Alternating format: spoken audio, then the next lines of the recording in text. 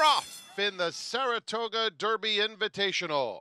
And program trading goes right out to take the lead. Mondego matches strides by the stands the first time. And just behind them, Aspen Grove is a joint third. Here's an eager Lion of War, and Lion of War rushes right up to take the second spot. Battle of Normandy is only three lengths off the lead as they move into the first turn.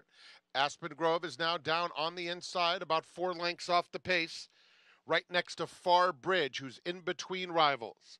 Outside of that pair, with about seven or eight lengths to make up, Webslinger passing some horses, and at the back of the field is the franchise. They went 23 and 3 for the opening quarter mile, and they swing on to the backstretch. And it's Flavien Prat and program trading, carving out the fractions, loose on the front end. Has it by two lengths to Mondego in second, Lion of War on the outside, third. They are followed by Battle of Normandy, who's in between horses, fourth. Webslinger on the outside is only three lengths off the lead. The filly Aspen Grove is just inside of him with a half mile left to go. Outside of that pair, Far Bridge will be four wide into the far turn, and the franchise, 49 and just under three fifths of a second. It's been all program trading thus far. Lion of War, three quarters of a length back in second. A continued bid from Web Slinger, who moves on the outside.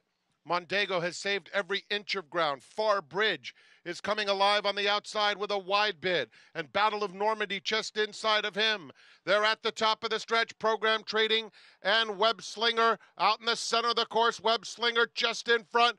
Program Trading fighting bravely, two lengths back. Far Bridges in third, followed by Battle of Normandy, a 16th to go. And it's Web Slinger and Program Trading. Program Trading resilient coming back on the inside. Program Trading would not be denied. And what a way to stay perfect, turning off a big bid of Web Slinger to score.